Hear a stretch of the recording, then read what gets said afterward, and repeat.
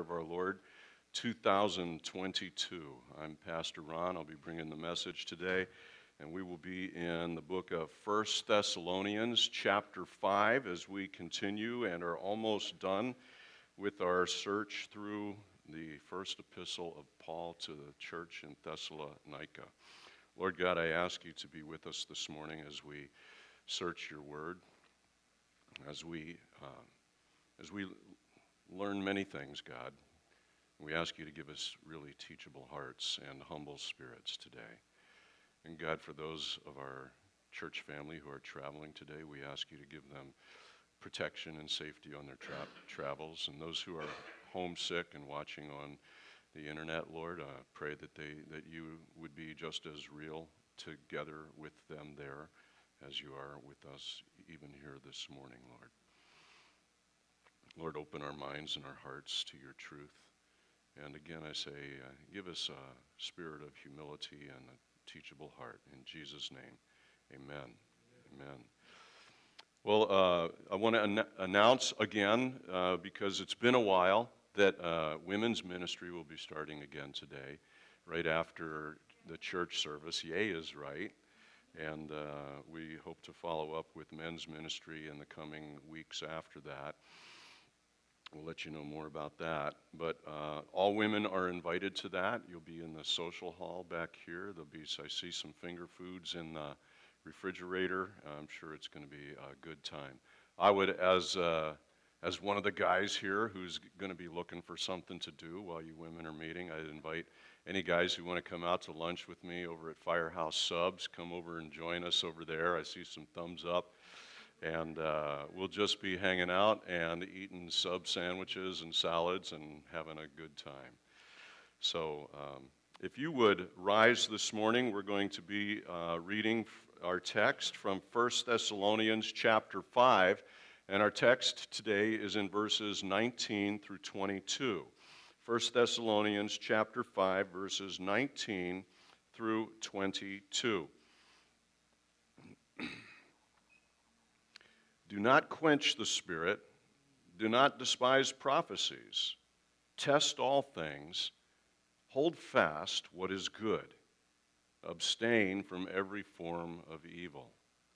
Lord God, we thank you for this uh, very brief passage within your word that is just power packed and full of wisdom and goodness for us, full of spiritual nutrition for us today. And we ask you, God, to feed us, feed us from your, your word, even as we are here uh, beginning to wrap up First Thessalonians. In Jesus' name we pray. Amen. Thanks. Please have a seat. I may uh, drink a little hot water or cough from time to time. Sorry about that still recovering from something. so, we have an unusual title for the message today. I was going to call it Test All Things, but thought that uh, to title it differently How to React When Your Pastor Kills Your Cow. How to react when your pastor kills your cow. I'm not trying to be cute with that. It's um, bringing in a cultural reference to something. Perhaps you've heard of the phenomenon in the country of India called the sacred cow. The sacred cow, they, they believe in the Hindu religion that animals must be protected, and that includes cows. And cows, especially, are revered by their religion uh, as being worthy of protection and worthy of um, even sort of a quasi kind of worship, but not, they're not really worshiping the cow, is my understanding. But, what you will see is you will see if you walk the streets of India, I am told, and I have seen on the internet and newspapers and other places, just cows wandering. And, uh, and some of them have halters on them, and others are just loose. Just, some of them are tied up, others are wandering around. Some of them you'll see that people are actually feeding the cow. They're bringing food to the cow as an act of worship or an act of their religious practice. And others are just wandering around loose and uh, to some extent creating havoc. It's a big problem in the, I believe, in my opinion, in the, in the areas of the world that have this belief that uh, they also cannot destroy rats and mice. And so when the Hindu people are storing grain, which they live off, uh, especially off rice, they are not allowed to kill rats and mice who then also get into and contaminate and, and, and waste in and, and uh, destroy their grain stores. There are actually patrols of people who families you know, need to stay up all night and have somebody on patrol in the family field and garden to uh, watch for these sacred cows wandering around and who are on the search at night for fruits and vegetables and things that the family should eat from their own garden. And so you'll take turns being on guard at night, and then you see a cow wander into your field. You chase it out, but you can't hit it. You can't be cruel to it. You can't touch the cow. You can physically touch it, but you may not molest the cow. And so this has become a proverb and a byword in our language, which is the, the, phrase sacred cow. It doesn't just mean a cow in India that can't be harmed, but it means this it means an idea or a custom or institution which is held, especially sometimes unreasonably, to be above or immune to criticism or opposition. I'll repeat that. An idea or a custom or belief or institution which is held, especially sometimes unreasonably, to be above or immune to criticism or opposition. So the title maybe makes a little more sense now when I say how to react when your pastor kills your cow. That's part of the job description of a faithful Bible teacher is to, is to dismantle beliefs which are ant- antithetical to Scripture. And we may find that we are surprised if we do some self examination to find that many, perhaps most of us, have some kind of sacred cow. I'm going to put that in air quotes here. Some kind of sacred cow or sacred cows that we hold above criticism or immune to opposition or even examination. These can be uh, all manner of things, and this I need to be very careful if I mention a few, because without giving a thorough treatment of those topics, um, somebody here could be offended. And shock of all shocks, uh, uh, then want to run away. That happens, believe it or not. So I'll choose uh, just a few examples uh, of the less, maybe the less um, hot topics. Unwed parenthood. People have really strong opinions about that. People can get offended if you talk about it from the scriptures. Um, abortion is one. Thou shalt not steal is a commandment of God. And most of us would agree with that. But then what about when the pastor says, that means you shall not cheat on your taxes? You shall pay your taxes. Everything that is due to the government, whether you like the government or not, whether you think that the government is being faithful with your taxes, using them the way that you want to see them used or not, it's still not our money. It belongs to the government. Uh, racism is a hot topic today equity, diversity, inclusion? What about hate speech? We hear the phrase hate speech today. That's a way to get tempers flared right away on, on both sides. Some, you know, in saying, some are saying, you know, there is no such thing as hate speech. Others are saying there is hate speech, but it's protected. Others are saying that hate speech should be attacked and people do not have the right to say things which I deem to be hateful to my cause or to my, or to my uh, institution the whole field of medical ethics. What about the idea of mate selection, how to choose a husband or a wife? What, what about within marriage, roles within marriage? Uh, the, the, the idea of male and female, separate, different, distinct from each other. Uh, what about the concept of equality? These are things that you may not get to see that, that pastors get ambushed with from time to time. Uh, and usually uh, we try to be really good natured about it. And, uh, and I think, you know, hopefully for the most part we, we are. But uh, a lot, even sometimes people don't realize they're doing it and can be excused for that. And uh, so for example, every once in a while we'll have a guest come here and they are checking out the church. And they, there's some things that they want to do their due diligence on and they want to know the answer to several questions about doctrine. I encourage that, by the way. I think that's a good thing. And uh, I'm very, very patient with that. But sometimes it's hard to answer quickly. You know, I've had people come and they have their two or three questions that they really need to see answered before they'll return for another visit, for example. I had uh, a very nice young couple come in one time, and on, on the way out the door, and they, they were leaving, they thought they would ask a question that they were sure I could just deal with in two or three words. Do you believe once saved, always saved? It, it, may, it, it may sound to you like there's a yes or a no answer to that, and indeed, after a long discussion, there is.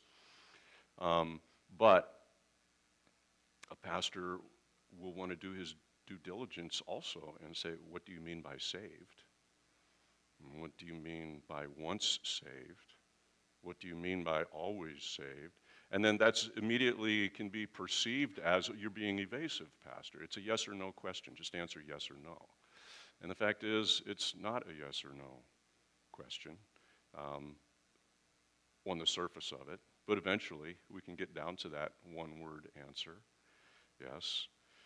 Um, so uh, these, are, these are things that are like sacred cows to us. I'm going to go into these uh, four verses now, verses uh, chapter 5 of 1 Thessalonians, verses 19 through 22. And we are going to uh, deal with each one of these four uh, verses, and then we'll have kind of a synopsis of all, but we're going to really focus on the third one test all things and hold fast what is good. So, we, we look at the context of what is going on here in 1 Thessalonians chapter 5. And 1 Thessalonians chapter 5 starts off, so just for context, it starts off um, on a very serious note. It's not a joyful, kind of a happy, um, glib sort of a topic. He's talking about the day of the Lord, the day of the Lord when the Lord returns, and, and there will be judgment at that time. And, and for when they say peace and safety, well, then suddenly destruction comes upon them, as labor pains upon a pregnant woman, and they shall not escape, but you, brethren, are not in darkness. This is very heavy stuff. It's very heavy stuff. And then Paul starts to be closing out the chapter, and he starts to, he starts to close out then after this um, those thoughts, and he needs, to, he needs to now encourage people. And so, verse, uh, verse 14, chapter 5, verse 14, which we went through last week, was Now we exhort you, brethren, warn those who are unruly, comfort the faint hearted, uphold the weak, and be patient with all. So he gets to the temperament of the minister. Be patient with all. And see that no one renders evil for evil to anyone. So he's still giving some cautions, but he's starting to back out of the, the very dark and heavy topics. but always pursue what is good, both for yourselves and for all. Then we saw last week, rejoice always. Rejoice always. So he's, he's bringing it up that this is the, anti- this is the antidote for kind of the gloom of the, some of the previous passages. He's saying, Rejoice always, pray without ceasing, and in everything give thanks, for this is the will of God in Christ Jesus. Now, uh, he, he launches into verse 19, says, Do not quench the Spirit. Do not quench the Spirit. So we go from several commands which are stated positively, and now we go to a command which is stated negatively. After, after rejoice always, pray without ceasing, and everything give thanks. Now, do not quench the Spirit. In your Bible, you may see a capital S, Spirit. And so perhaps your mind goes immediately to the place of do not quench the Holy Spirit of God. Does it really mean that person of the Trinity, the Holy Spirit of God. Let's, it's not so straightforward as it may seem just because there's a capital S in your text. Can you really quench God Almighty, the master and creator of the universe? The word quench is I extinguish, I quench, I suppress, or I thwart. Can God be thwarted? Can God be suppressed by a mere human being? When we put it, the question in those terms, the answer seems pretty clear. No. The Holy Spirit, the person of God, who is the Holy Spirit, the Comforter, the Paraclete, cannot be extinguished by mere mortals. So, what is this talking about? It's talking about the work of the Spirit in your life. The plans of God the invitation of God can be ignored at our own peril. And, and so the Holy Spirit seeks to work in our life unto our salvation and unto our sanctification, and, and then ultimately to our glorification when we go to heaven. but we are not capable, we're not that strong enough. We're not strong enough to extinguish the Holy Spirit of God. It's not like candles on a birthday cake where we can just go, oh, there's the, the Holy Spirit at work. Poof. I just blew it out. So, so we're not talking about extinguishing the Holy Spirit of God. That's too strong of an idea. But there are other passages that give a little bit more light to this, which is about when we uh, work in opposition to what the Holy Spirit is doing. Ephesians chapter 4 says this do not grieve the Holy Spirit. The Holy Spirit can be grieved. Jesus wept. Jesus was grieved. God was, the Father was aggrieved from, from time to time with, with mankind. He even says that he regretted even creating humankind. Remember when everybody did what was right in their own eyes, and the Lord vowed to, to himself he was going to destroy all of humankind, but he saved eight souls. Noah and his family. But do not grieve the Holy Spirit, whereby you are sealed to the day of redemption. You see, the Holy Spirit seals you to the day of redemption. And this gets to our doctrine of salvation. You are born of a seed which is imperishable. You cannot be snatched from God's hand. You are sealed by the Holy Spirit unto the day of salvation. So, that same Spirit who has sealed you to salvation and that you cannot be snatched out of God's hand, don't grieve that Spirit. Now, the Holy Spirit may also be withdrawn by God. Psalm 51, verse 11 says this Cast me not away from your presence, and take not your Holy Spirit away from me. This was at a time when people were not automatically infilled by the Holy Spirit when they came to faith in God. That the, the Holy Spirit would come upon people, like He would come upon Samson, He would come upon David, and, and they would do mighty acts. But there was not that infilling of the Holy Spirit of God at that time. Jesus left us the Comforter. And now we who believe in Jesus are, are, are possessed by and infilled with the Holy Spirit of God. But the Holy Spirit his work among people, it may be withdrawn by God at God's will. The Holy Spirit may also be neglected. The scriptures say, Neglect not the gift that is in you, which was given to you by prophecy with the laying on of the hands of the presbytery or of the elders. So we can resist the Holy Spirit's work on ourselves, but we cannot extinguish the Holy Spirit like blowing out or drowning a flame. So, why this command? Why does he say, extinguish not the Spirit? Well, I think it follows logically from the, previous three verses. This is extinguishing the Spirit with the, the working of the Holy Spirit in your life. The previous three verses had said, Rejoice always. What that's saying is, what's the opposite of that? Don't be full of gloom. Don't be full. Gloom is the enemy of, of God's work. There's that sense of hopelessness. What can God accomplish in your life if you have a sense of gloom and doom? Pray without ceasing, said verse 17. The neglect of prayer, of not conversing with God, is going to suppress the work of the Holy Spirit in your life. In that sense, it will quench the Spirit. Quench the Spirit. And then in everything, give, give thanks, verse 18. we talked last week about how Satan is unable to be grateful. There's no gratitude in Satan's heart for nothing.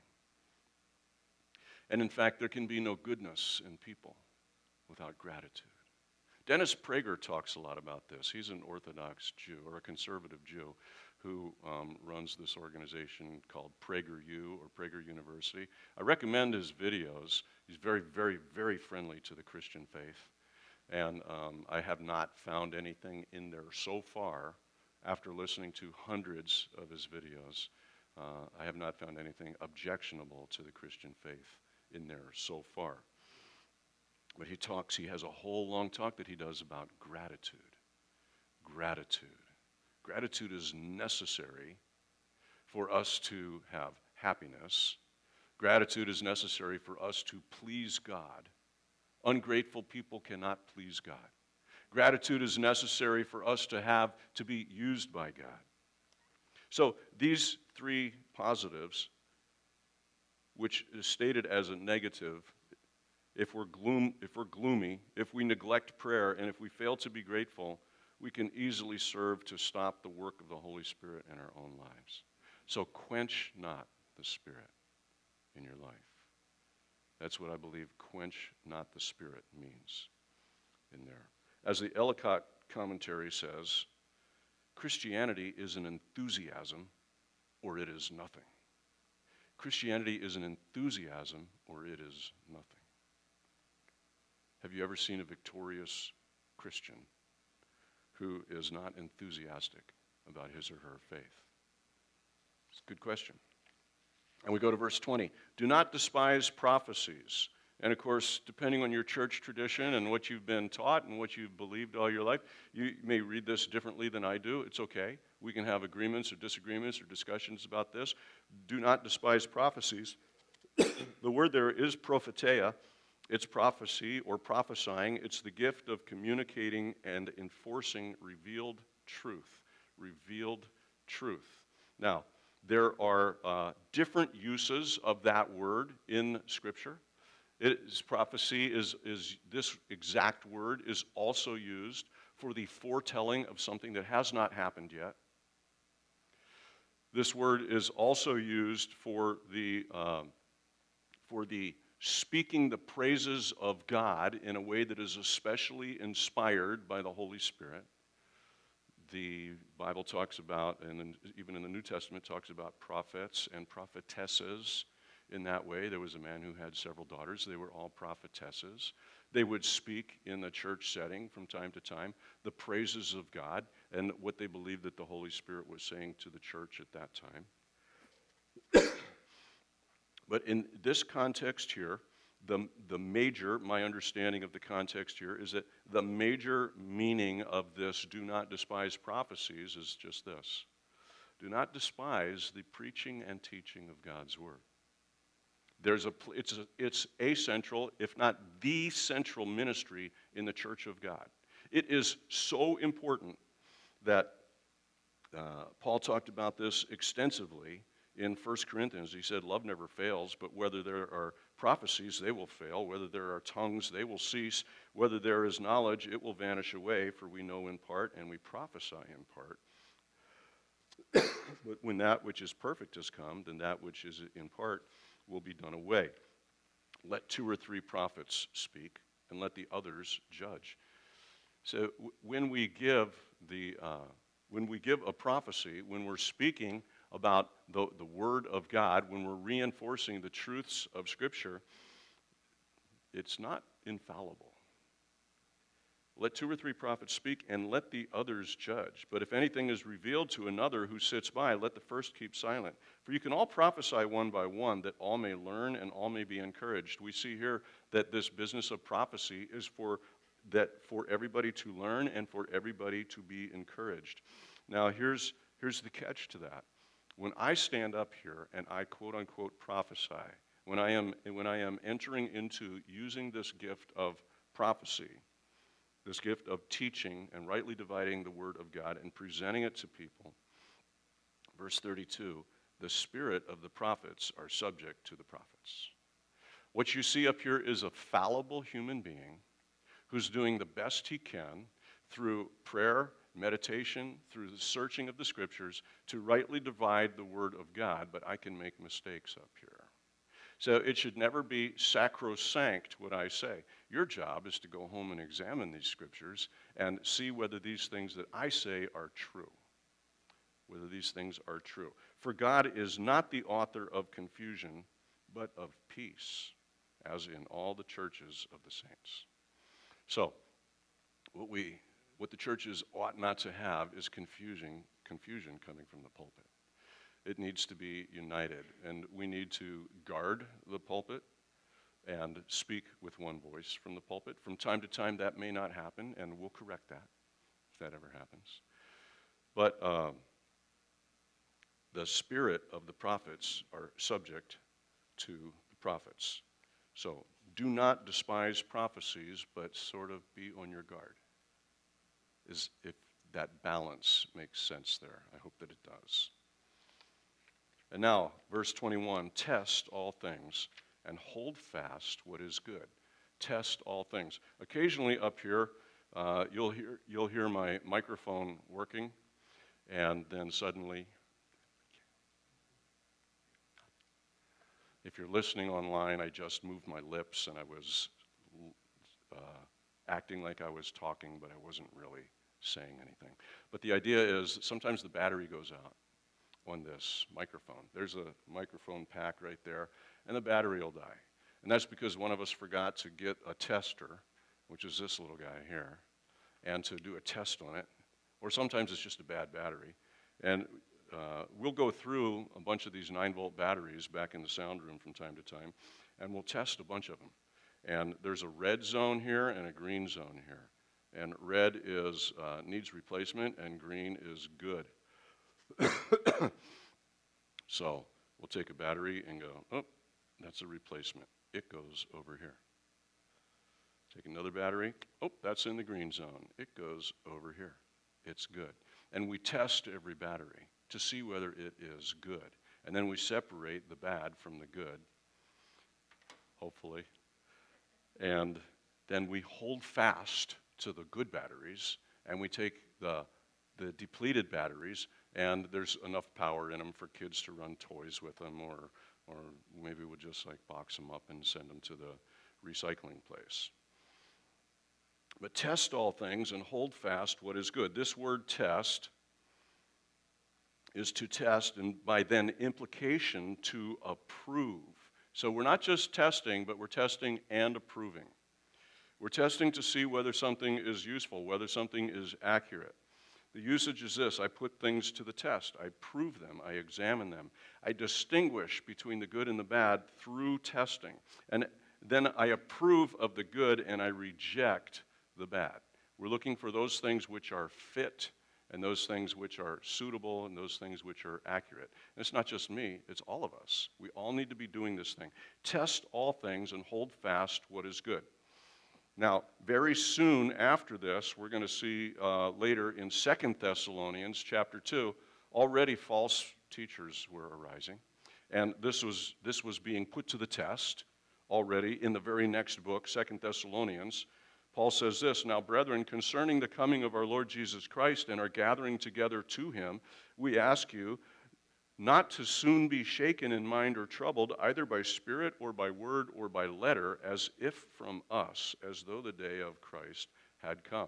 You see, there were already pseudepigraphal writings, which is to say, fake, fake letters, supposedly from Paul, but not really, where it would be signed Paul. And it would say, hey, you know what? Um, The day of Christ has already come. Did you miss it? And so they were trying to cause trouble in the church. It was fake news, as it were. so those things need to be tested. Now, how tested? I'm going to go through about 10 or 11 examples of how to test these things. Now, the teachings of God, the, the doctrines, especially in the New Testament, are often called these things. Those two words put together, you can do a search on it in your, on your uh, laptop at home. Just type in quote mark these things, end quote, like that. And you'll get a long list of, especially in the New Testament, where it's talking about the teachings, the doctrines of God. So, how do we test these? For one, we test these things not alone, but in community. If something needs to be tested and you're suspicious of a teaching, it's worth asking somebody else about it too. Hey, I heard this. Is that what you heard? And does that sound right? It could be from somebody on the internet, it could be from some big teacher. Um, if it's here in this church, don't go to your neighbor and ask them. Come to me and ask me. And that's, that's the proper order of how to do these things. 1 Corinthians chapter 12 says this there are diversities of gifts, but the same Spirit, and diversities of ministries, but the same Lord, and diversities of activities, but it's the same God who works all in all. So, to one, there is faith by the Spirit, to another, gifts of healings by the same Spirit, and to another, the working of miracles, to another, prophecy. That's one of the things that we were talking about this morning. And to another, the discerning, excuse me.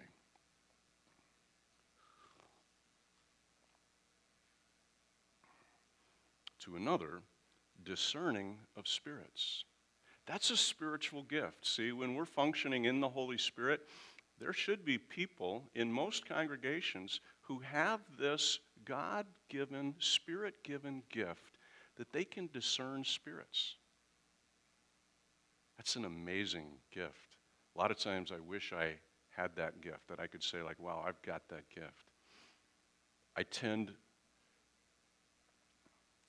I tend to sort of rely on my street smarts a lot and think that I'm discerning spirits. Sometimes I am. When you've hitchhiked in a strange country where you don't know the language and you have like three seconds to decide if this guy who stopped for you is going to be a good ride or a bad ride, you learn to discern their spirit pretty quickly. And, and you, you develop sort of a street savvy about things. But there is a special gift, the discerning of spirits. And you might be surprised, as I've been surprised, who will, who will operate in that gift? I've found sometimes that it's a child who will just say, Daddy, that guy gives me the creeps. And they can't articulate it. But later on, you find out, yeah, there's a reason for that. It may be somebody who doesn't ever normally operate in, in, in, any kind of public gifts, you know, public proclamations, you know, thus saith the Lord or anything like that, but they're just quiet and maybe a little timid. And you can go over to them and say, What do you think about that? And they'll tell you. And it's stunning how accurate people can be. A lot of, um, a lot of employers have found this out when they have people come in to interview for jobs. Oftentimes, and I don't know what it is, but oftentimes that person at the reception desk out front, you may not know this, they get like the final say a lot of times. Maybe, maybe that's the wrong way to put it. Their input is sought. So somebody, some hotshot salesman comes in, he's looking for a job, he interviews with the man, you know, in the suit and tie, the power suit behind the desk, and the interview he goes well and everything, and the man, the boss, is impressed with the candidate, but then goes out to that person behind the reception desk out there and says, Did you get to talk to this, this guy? Yeah, I talked to him for about 30 seconds. What'd you think? Uh, I don't know. Got a, got a bad feeling about that one. And it's right, it's correct. Some people just operate in this way of discerning of spirits. Spirits. So when you test all things, you can test things. One way to test things that you're being taught or the people that are teaching you is to do it in community with other people. Rather than think, I am the, I am the tester of all things, I've got the tester right here. I don't need to consult with anybody. I can determine for myself a good teaching from a bad teaching, a good teacher from a bad teacher. It's okay and it's good to go to somebody else uh, who has this gift of discerning of spirits.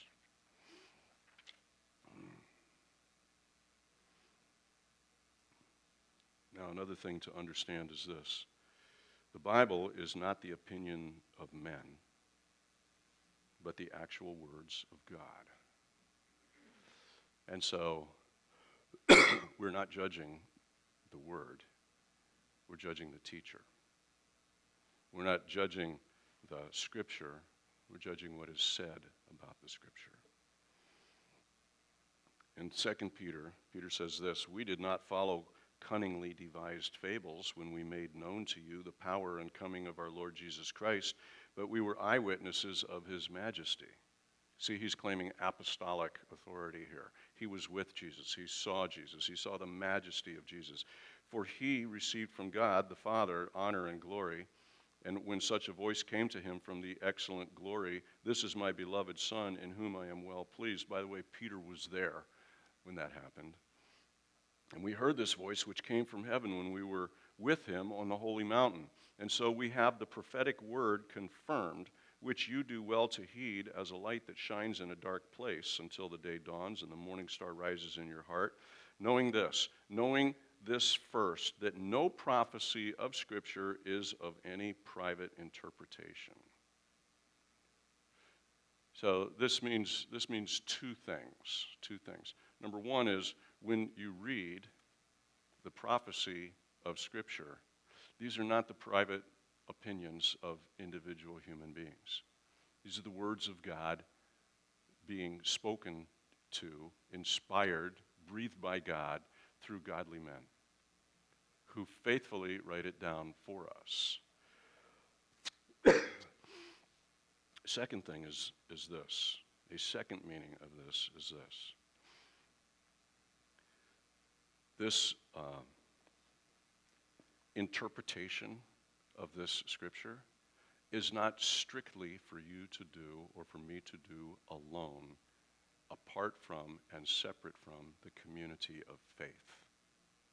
We don't get to judge for ourselves, a, a, a, have our own private interpretation of this scripture. Well, this scripture may mean that this to you, but to me, it doesn't mean that at all. It means this. And you find that you're swimming upstream, and like the entire church disagrees with you on that. And you have this heterodox opinion, which has not been tested by others. This is how we get, uh, we get false teaching and false doctrine that creeps into the church. And shepherds, pastors are part of our job is to, is to guard against that. So we, we look for wolves in sheep's clothing who want to teach or promulgate divisive doctrines and things that they have. Wow, look what I found in Scripture, and nobody else has ever seen this, but I just have to speak it forth. And sometimes, uh, here's a kind of a classic example when somebody talks a lot about the Nephilim. The Nephilim. Who are the Nephilim? It's when angels abandoned their abode and they had relations with the daughters of men. And, and then the Nephilim, the, there were giants on the earth in that time. And somebody just, that's their hobby horse. They ride that horse like crazy. And they're always talking about there's giants among us, there's spirit beings, even here in this, you know, and it gets crazy. They've taken something in Scripture and they, they seize on it for some reason and they run with it. And it's like the central thing that they're talking about all the time. This scripture is not for us to find a hobby horse and to ride hard. we do the interpretation of Scripture in a community of faith. This is how we develop doctrine. Doctrine is not something for one man to write down. If I, if I study the Scripture and I come up with, you know what, my doctrine of salvation is this, I'm going to write it down and I'm going to teach it. I don't have that right.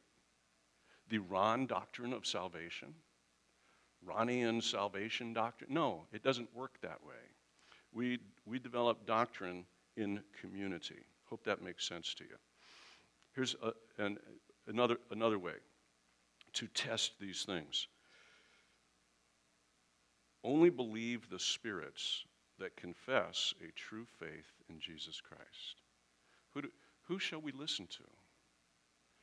The first people we should listen to are those who initially confess a true faith in Jesus Christ. Uh, in 1 John chapter 4, John says this Beloved, do not believe every spirit, but test the spirits whether they are of God because many false prophets have gone out into the world.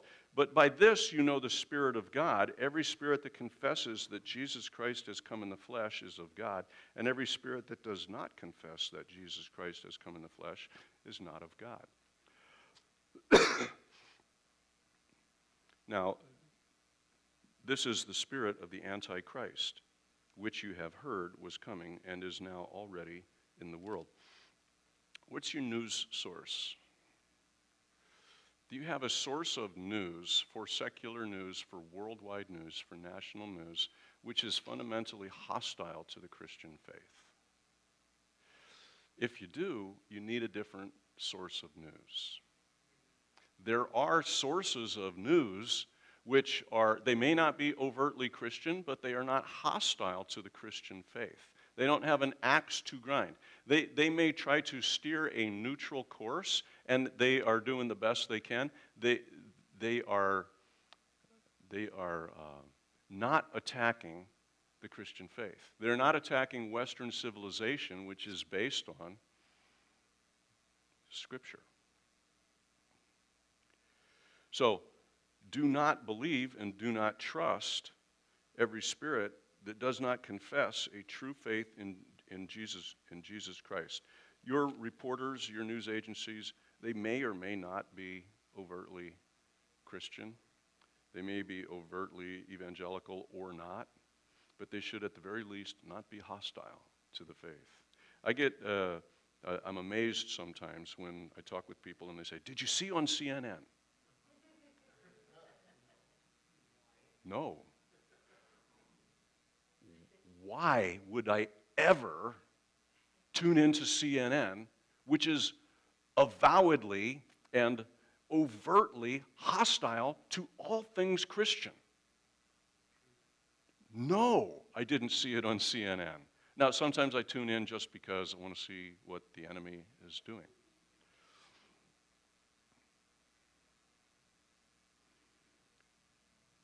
How else may we test these spirits. It must agree with the teaching of the apostles. In 1 Corinthians chapter 15, Paul says, Moreover, brethren, I declare to you the gospel which I preached to you, which also you received and in which you stand, by which you are saved, if you hold fast to that word which I preached to you, unless you believed in vain. hold fast to the word, to the word. We saw the illustration of the batteries. A next um, method of testing things is a little is a little more vague, but try to stay with me on this. Do not abandon your common sense. Your common sense. So, not all things must be proven by a direct quotation of Scripture. This is the final word. This is the final arbiter of truth. It gives us direction for, for believing and living correctly. This is what guides us. But there will be many questions in life that you will not find a scripture which addresses your question or your problem directly. Use your common sense. What is your common sense based on? It should be based on in inculcating these principles into your life so much that you live and breathe the Psalms and the, the Proverbs, the words of Jesus. And they become a part of you. So that when you're tested by something, it's like you know the mind of Christ already. That's scriptural, that we can know the mind of God. Not that we can comprehend or grasp, but that we can operate in a way that pleases God. Do not abandon your common sense. Many things, perhaps most things, need to be tested by broad based principles which can be found in the body, or in the, in the corpus of the Bible, but which cannot be found in a specific verse that addresses your specific question or problem. so, how do we do this? Well, sit down and do a scripture search. We're going to start a course in a couple of weeks called uh, How to Study the Bible. But do your own scripture search about the, the principles of the problem that you're attempting to solve. And then, if you're still stuck, go and ask your pastor. Hey, pastor, what does the Bible say about this? And we can, and then it helps if you take me out to lunch because then we have time to talk about it. And, um, and we can have a good discussion back and forth. Next, do not submit to the temptation to phrase your questions to yourself, well, especially, to, let's say to your pastor. You, you go to your pastor. It's, I'm a reference point for you. I'm a uh, a resource. It, it helps not to phrase your questions as a gotcha question. As a gotcha question. Because not all things are easily answered in one, with one word, as we saw with some of the previous examples. I'm going to I'm to go into a little deeper into one of these. Uh, I, get, I get asked this from time to time, and I will refer back to that couple that was in the back of the church and they were leaving, and, and they just needed to have this question answered Do you believe once saved, always saved? And I thought about that, you know, is there a quick answer? Can I come up with a quick answer? So I went to Paul in the scripture, and I'm like asking, so Paul, do you have a do you have like a two sentence answer for me on that? And here's what I found. There, there are folks that, that, uh, that, that put this question this way Do you believe that all that is necessary to be saved is that you confess with your mouth the Lord Jesus and believe in your heart that God has raised him from the dead, that you will be saved? That's a direct quote of Romans chapter 10, verse 9. And to that we can say, Of course, it's Scripture. But why didn't Paul stop with that verse? He didn't intend for there to be a one phrase answer to the question of salvation. So this is, this is Romans chapter 10, verse 9. If you confess with your mouth the Lord Jesus and believe in your heart that God has raised him from the dead, you will be saved. That's true. Pastor, do you believe it? Yes or no? Well, let's see, you and I have no history. You haven't listened to my teaching before. What do you mean by saved? What do you mean by believe? What do you mean by heart? What do you mean by God has uh, raised him from the dead? I want to have a discussion about that. No, no, no, yes or no. I want a yes or no answer. Well, then why couldn't Paul give a yes or no answer? Paul needed 16 chapters, 433 verses, 9,422 words to answer the question about the doctrine of salvation, which is mostly what the whole book of Romans is about. So, what I'm encouraging us all to do is in our searching of Scripture, let's don't focus on, on catchy catchphrases or fragments of a verse, like one half of one verse in a book of over 9,000 words take the time to study it. And it, I promise you, if you come to me and there's just something that's really bugging you about something in Scripture, I'll spend the time with you. We can spend hours. I'm available. We can do this. But it's not profitable to you or to me or to anybody to insist on an answer like that with many of these things. So, how do you react when your pastor kills your cow? Come back to that question. You have a sacred cow. Maybe you're already bridling at the fact that I said you have a sacred cow. Okay, that's your sacred cow. I think we all have a sacred cow, probably, somewhere. Some belief that we cling to because that's the way we were brought up, or it always seemed right to us, or because I have so much emotional investment in the outcome of this question that if I ask this question and you don't answer in a way that affirms my belief, I'm going to be deeply, deeply, deeply wounded. And I'll just want to go away. And that's a common, common thing in the church.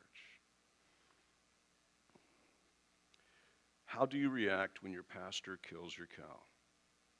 First off, go talk to him. Ask him. Hey, I think I just heard you say such and such. Is that what you said? And if it is, is that what you meant? What did you mean by that? And if, if you come with that kind of, here's, in my experience, when I've gone to pastors about this before, because remember, I'm a new pastor. Uh, if you come with that attitude of, hey, what did you mean by that? I was confused because I've always heard it this way. Is that, am I, is my understanding correct? You'll probably get an immediate answer or very close to an immediate answer. But if you call late at night all upset and your voice is quivering and you're just like, I'm so upset about this. I, I feel like I have to leave the church. I gotta leave. I gotta leave. I go, like, leave? Why? Well, because you said such and such. Okay, can we talk about it? Oh, I don't know. I don't know. I'm so upset. So you're not going to get an answer immediately at that point. What's the wise thing for the pastor to do? To respond this way Let's talk about this when you've calmed down. That's a legitimate response. Let's don't talk about this now, late at night, where you want a two word answer. Well, when do you want to talk about it? Well, given your current state of mind, I'd say let's talk in about a month. I'm not being cute when I say that. It may take a person that long to settle down. I've seen it. Let's talk about it in a month. Okay, but I'm not going to come to church for that entire month. No, that's the wrong attitude. That's the wrong attitude. Keep coming. Keep practicing community with the fellowship of believers. Keep discerning the scriptures together in community. And when you've calmed down, and you've realized, yes, this is the same pastor who has invested four, five, six, seven, eight years in my life faithfully. I'm not going to just throw that away. After four weeks, you'll be settled down and we can talk about it. You've done this as parents with children, you've done this as employers with employees, where you need to get something done. Like, I know in our in, marriage. You know, this is one of the things that I teach in marriage is this that when a husband and wife are just like at each other about something and they just they, something came up and it was like a landmine and you stepped on it and you go who knew there was a landmine there? You know what i'm talking about? An emotional landmine. You've got stuff you need to get done. Like children need to be fed and jobs need to be done. People need to go to work. You're not going to solve that problem in the same day Make an appointment. I counsel this a lot of times. It's like, have your discussion till 10 p.m., and then if you got business to do, just get out your calendar and go, well, honey, when can we continue this argument? Well, how about tomorrow? No, I got that doctor's appointment tomorrow. Well, how about Wednesday? No, Johnny has to go to soccer Wednesday night. That's the tournament. Well, Thursday. Uh, no, that's not going to work because Aunt Mabel is coming over. Okay, uh, so today's Monday, so Friday, Friday night. Okay, Friday night. There we go. we're going to have this appointment to continue this argument a week from now. Guess what will probably happen on Friday night? You forgot what you were arguing about. It's like, because, why? Because you're calm. You've settled down. You've maybe gone to the Lord about it. You've thought about it. You've talked about it. What, were we going to argue? I see we have an appointment to argue. What were we going to argue about again? Well, it wasn't really an argument, it was more of a discussion. It was about thus and so. Oh, yeah, okay, so, yeah, my answer is this on that. Oh, okay, I thought so. What's for dinner? If your pastor kills your sacred cow, take a deep breath, ask him about it. If you're calm, discuss it. If you're not calm, please don't be offended if he says, We need to continue this in about a couple of weeks or a month. Please don't be offended by that.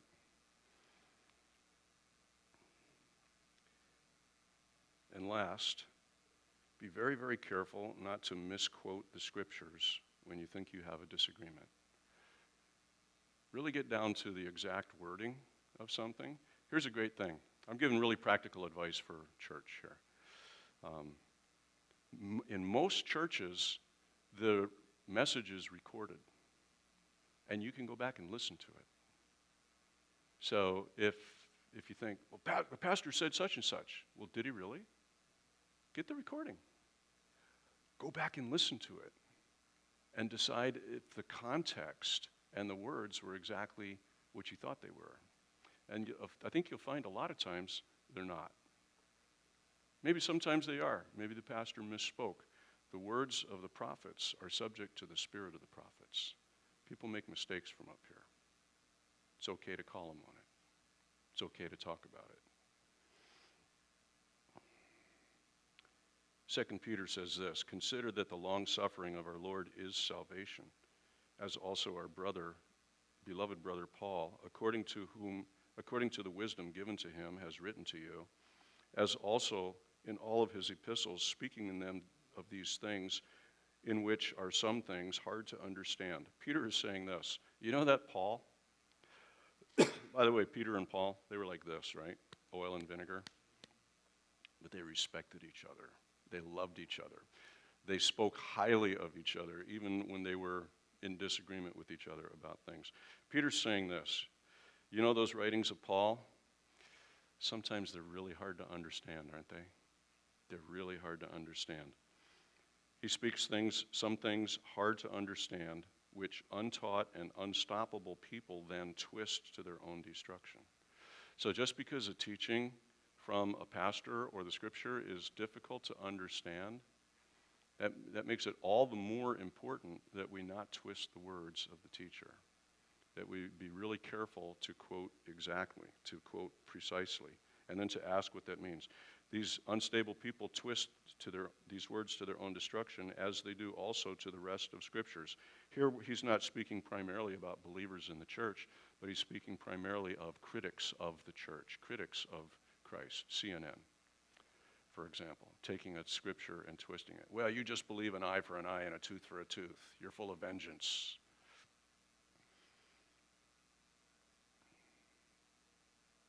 And we close with abstain, verse 22. Abstain from every form of evil. Evil. That's the calling of the believer, isn't it? We don't do the bad things.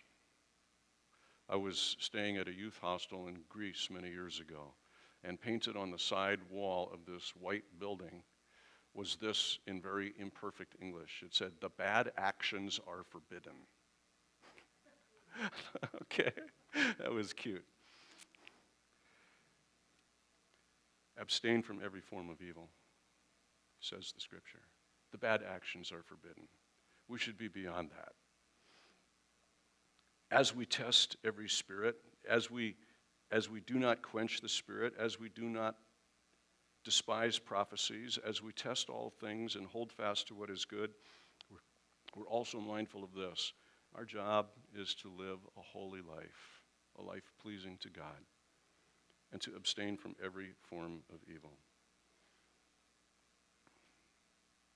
Lord God, we thank you for this reading of your word, for this practical teaching today. We ask you, God, to give us the wisdom and the fortitude to test all things and to hold fast what is good and to not overreact when somebody kills our sacred cow. In Jesus' name we pray. Amen. Amen. Well, thank you for your kind attention this morning. We're going to break for the women's ministry, and uh, it meets back there. Men, I'll, if you want to come, I'll see you over at Firehouse Subs. That's where Kellen and I and some others will be hanging out and eating sub sandwiches.